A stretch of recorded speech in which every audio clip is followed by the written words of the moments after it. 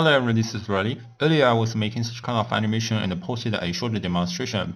People asked for a tutorial, so here we are. Uh, in this tutorial, I will make basically everything procedural, even more procedural than I initially made them. So let's go. So firstly, let's import our object. So if I'm going to edit and preference, there is an add-on which is called import images planes. So if you don't, if you didn't activate that, please activate that. And the next thing I'm going to do is go to the file and import images planes. And I've already made a lot of images, basically image sequence, and you just select all of them and import images planes. Then I have about 45 objects and each of them will have a different text image texture. Uh, the reason I'm doing this thing is because uh, if you try to change the materials uh, to the sequence, uh, where is the sequence? Yeah, uh, if you change the single image into sequence, you you don't have ability to actually animate uh, to um, edit all these offset and the frames and the start frames. Uh, it means um, either you play that as a image sequence or a single object will only be able to have a single image shown. So that's why I have to use import image method to give different materials a sequence an element of the sequence. And for this image sequence, I think it's possible, or it's kind of easy to just either do this in Photoshop or After Effects. Personally, I do this in After Effects because you can type the expression and many other things. It's very easy to export as well. So the next step is to actually working with a single individual plane. Uh, for convenience, I'm just going to shift D duplicate that, and I'm going to move out the scene collection, and I'm going to disable the original collection so that I only see one of them. Uh, I would like to do the simple deform. Uh, and to, before I deform anything, I need to sim, uh, subdivide that for several times so that it can it have an, enough polygons to deform itself. So let's uh, just choose a simple deform. If I bend these objects, and you can see there is nothing works. Uh, it's not bending itself even if we apply the subdivision surfaces, this is because the transformation here is actually 90 degree on X. Uh, it, this is actually somehow related to the way simple deform works. It's actually too hard to describe, but what I would say, when such kind of situation occurs, you just apply the old transform. And make sure the um, the kind of z-axis is always facing upwards, something like that. So as you can see, now we have a deformed pages, but it's not deformed in the way I wish. Uh, and before we apply a further change, I would like to just roughly talk about the way simple deform works. So now you can see the axis of the origin z is facing upwards. And uh, if I just uh, try to move this z, and uh, if I move the origin, you can see how the deform um, is changed as well. So basically the simple deform is working based on the position of its origin and uh, its transformation. So if you rotate that, it will also be affected. Uh, however, there is no real actual way to change the data of origin numerically. So you either just use these methods as what we're doing but this is not really procedural with the transform data. So you cannot really do this. Um, but still, I just would like to get an idea that the edges on the top. And then I will put everything selection to cursor. So there's another way to actually edit the origin of these objects procedurally. And that's why there is an option to make the origin to an object. So let's state the, let's uh, make it just an empty plain axis. And if we change the object into this plane axis. So now you can see if we change the axis and that's how it will affect our object. And if we rotate this axis, the rotation will also be affected. And this is actually super nice, super wonderful. So if you paint that to one of the corner, then now we have kind of very nicely deformed pages, like blowing that up. But it also means if we're going to duplicate this object, we not only need to duplicate these pages, but also duplicate this empty. Otherwise, if I just uh, shift D duplicate this object, if I just move that, you can see this page has been deformed largely because the origin stays as the same empty. But this is not what we want. We want this empty or this pages parent to be empty or empty parent to the pages. I think either way works or only one way works. But anyway, I haven't tried that. But I'm going to do everything with the nodes, so I, I don't think it actually really matters because it's procedural. So let's go to the animation node. And I'm going to use the distributed matrices and object instancer objects matrix outputs uh, maybe you have watched my last tutorial talking about uh, there are basically two ways to instance the object. The reason I use this instancer method in this particular case is because I want each of these objects have to be independent so that they can have a different material. And I'm going to copy this object the instancer. Uh, the other one, it does not really matter if it actually copies the full object because it's going to be the empty. So the top one, which copies the full object, will be the pages. So each children contains the modifier, sub including subdivision surfaces and simple deform. And I'm going to put the object into objects and duplicate that. For the empty, I'm going to duplicate the same amount of time and the matrices to both of them. So now what you can see is our pages tend to be very weird. This is because for each of these pages, there they goes to the same um, object as their origin, which is the most initial empty that we have. Uh, this is something I've shown you earlier, of course. Next thing I'm going to do is um, objects attributes output. So I'm going to fix this the issue of this empty. Uh, let's firstly make the x division 1 and you can increase the y division as you want. And to fix these empty issues. Uh, this is quite actually easy to do. Uh, firstly, uh, we have this object attribute output. So this node will go into this object data, including its modifier or maybe other things like uh, auto smooth.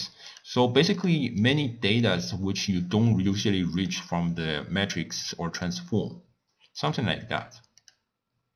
So in this simple deform, I'm going to right click and copy data path and I'm going to paste the data path.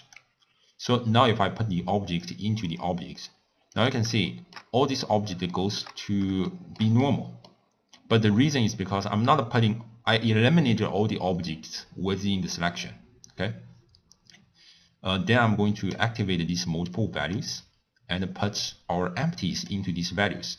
So each object now sequentially has been assigned their corresponding empties and this is basically how it works. Next thing I'm going to do is to offset the actual matrices of our empties. Because now the matrices has been reset so our empties lost its uh, initial transformation that has been assigned to uh, assigned by me at most the beginning. In this case I'm just going to use offset matrices. I'm going to put the locations a little bit higher no actually location just stays at the place. Uh, and the move that rotates maybe y rotates a little bit. So I think this is it. And the little bit down. X so you can deal with all these things by yourself.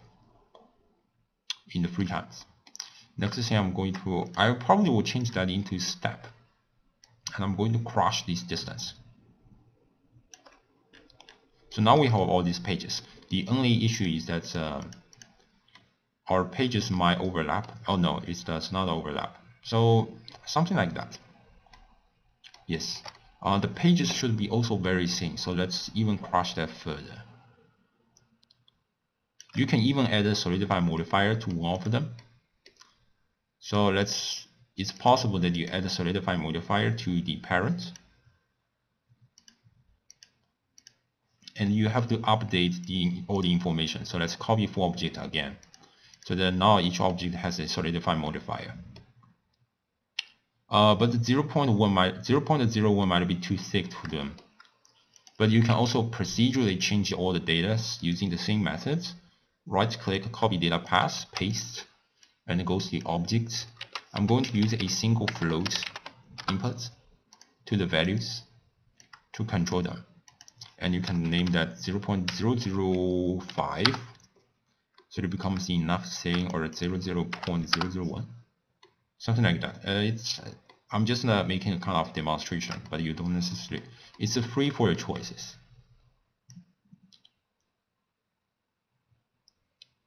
But it might be better if this thickness has been linked to the y distance so that it becomes very easy to work with. Okay, after this moment we have everything basically procedural. Uh, next thing I would like to do is to deal with the the animation. The animation contains two parts which are very important. Uh, one part is the deformation of pages, and the second part is the translation of these pages. Um, both of them very likely will use the same falloff. So let's just uh, try to do that. So I'm going to converge these two node, uh, two pathways at upstream, and I'm going to. So first they make the kind of translation. So let's do the x, y, and move the upwards. So now everything moves because we the falloff is goes from 0 to 1. And then I'm going to use object controller falloff uh, and change the type to direction. And I'm going to use the controller. The controller is just an, an empty object. Actually, it does not matter with what this object is. This can be any object, and its uh, its name is also not restricted to controller. But the whole point is that if I go uh, hit the M panels and goes to node tree, you can see I always hit this auto execution um, off. There's a reason for that, and I have made a tutorial like a two animate animation nodes discussing why doing all these kind of things. Uh, if you're not, not sure about what I'm actually doing, you either just go to the tutorial or just follow what I'm doing, make a collection which is called control and type in the location scale rotation Euler and so on and so forth. If I put a controller in and change the type to Y, because I'm going to move on y-axis, you can see by moving on y-axis, when the object is within the falloff, then this object will be moved. But uh, all this object has been moved instead of one. Although you can see uh, there is a difference, like uh, although uh, initially their, their interval is kind of very small, but as the object move closer, their, their interval goes larger because the distinguished. But distinguish is not very obvious enough. The reason is our falloff is actually too large. So what you need to do is to actually scale down this fourth and you can see and you have to scale down more and more until you finally reach a point where it has been distinguished. Also what you can potentially do is just uh, to scale that up a little bit so that it's more distinguished so you either scale down your controller or scale up the, the interval between pages. This is kind of idea. So you can tweak all these value by yourself. Uh, a thing, however, is that I don't actually like this falloff to be uh, looks too small to me. So what I'm going to do here is uh, it's just a kind of uh, more simple dumb trick. Instead of using the object controller falloff, I'm going to use the directional falloff. They are actually the same. So the object controller falloff in the directional mode is just a, a directional falloff. they're actually the same. Um, they're really the same. And I'm going to use the object transform input to control the location of this directional fold.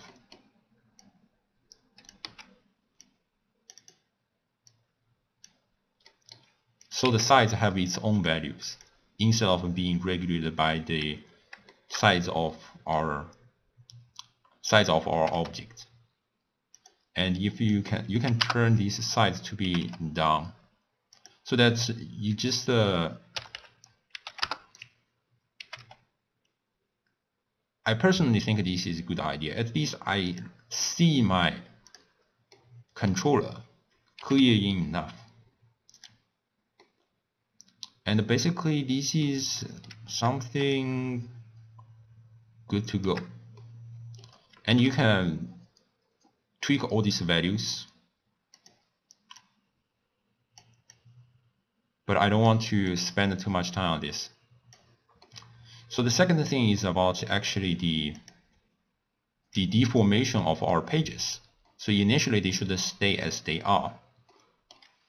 So what we're going to do here uh, is actually basically the same thing using the object attribute output.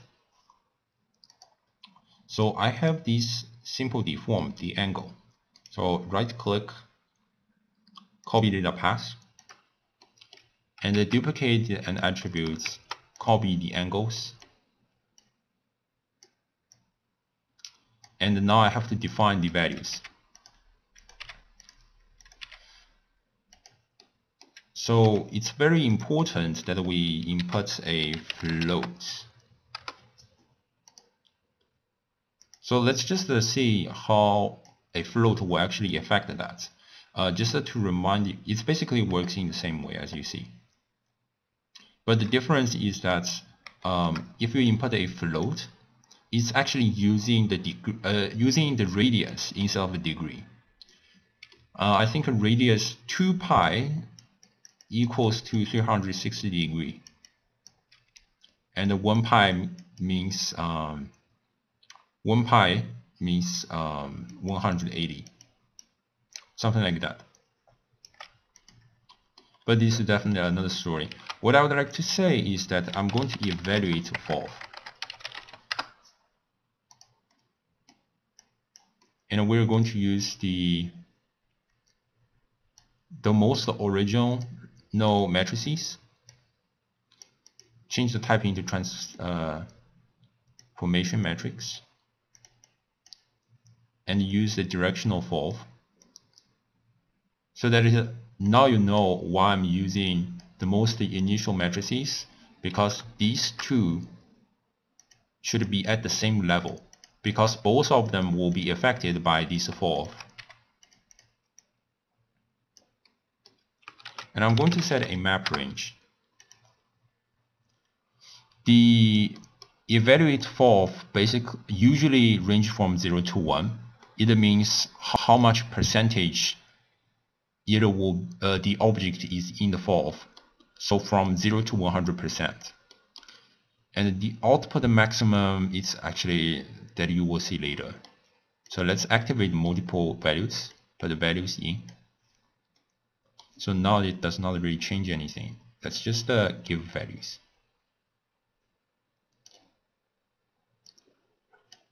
So now you basically see there is a gradation of how these pages has been moved.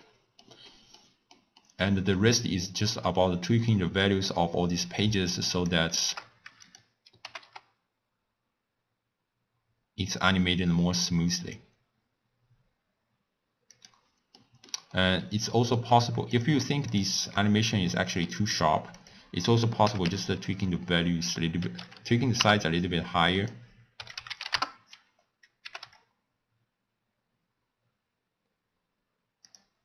but these are another story. So the last thing I would like to do before we head into the materials um, is that about the if this is um, an actual setup that we're working with the calendars. So let's just simply model a very simple calendars. Select the top faces, GUI, select all, and shrink its size. You can see there is actually this standard essentially has a kind of kind of a slope, but our original mesh do not have a slope. So it's possible that you just uh, use another offset matrices.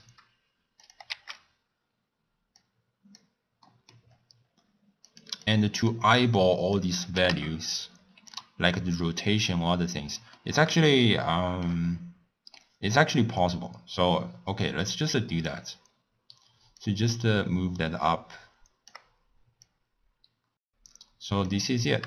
Um, the last thing I would like to mention is actually about the material because if you're taking a look with what's happening right now is all of the OST pages are zero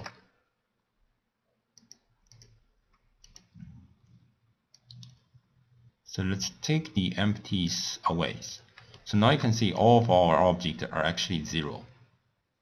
So even if I hide the one, hide the one, hide the one, hide the one, but all of them are actually zero. So the question is how can we actually get different materials on each of them? There's essentially billions ways to do so. And literally billions ways. Um, I can even think about two ways. Oh, by the way, I have to remind you one thing. There's a bug in Eevee. Uh, this is actually related to the alpha and how Eevee actually works. I don't want to go too much detail about such a bug, but just be aware with such a bug that personally speaking, I don't have a way to fix that unless you're actually switching everything into cycles. So switching into cycles is to save the words, but if you're using Eevee, I would say good luck. Okay, so this is it.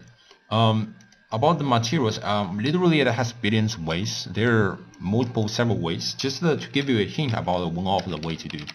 There is a node which is called object material input. So one way of thinking is I have this collection. So let's name that as imported images.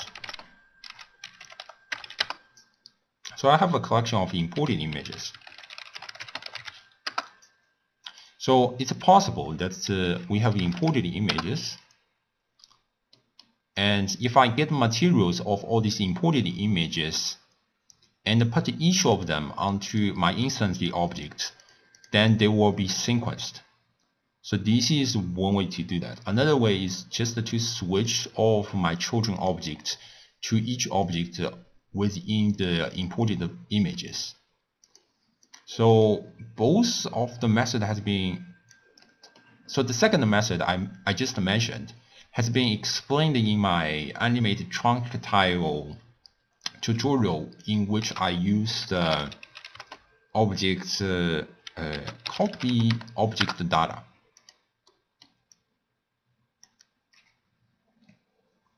So instead of using this method, uh, I'm going to talk about the way I mentioned at the beginning, like putting material on all of them. But uh, here also one thing I have to remind you is that this node does not receive multiple inputs, unfortunately. It means you have to generate several loops. I'm going to put a loop for this ob object. Actually, it does not matter which one you choose, actually, in this case. So I'm going to put the objects into the place and I'm going to material list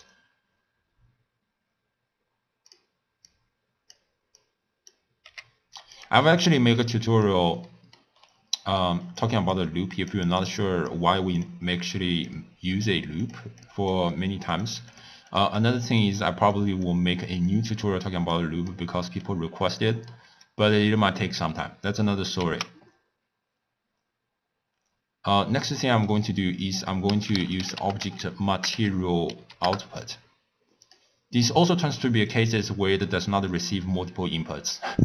so you have to generate another loop. You just hit W and it goes to right. So now you generate a loop.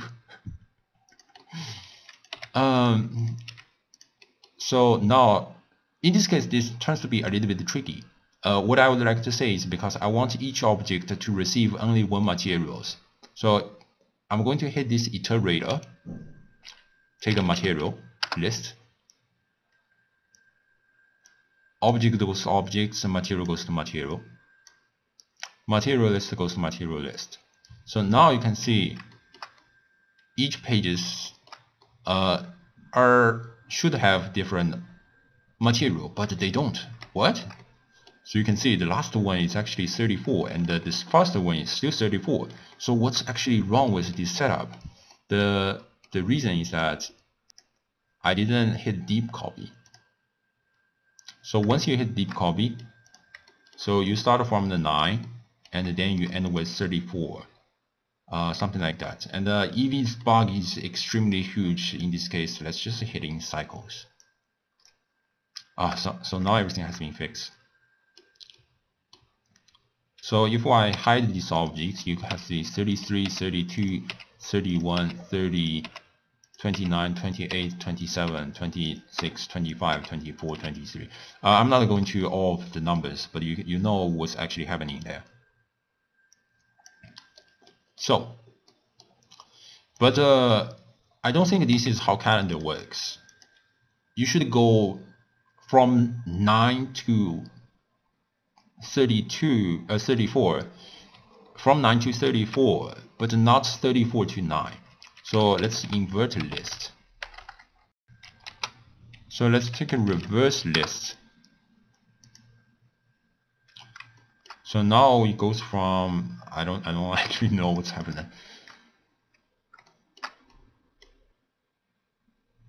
So now we start from the 11, 12, 13, 14, 15, 16, 17, 18 this is basically how it has been works right now.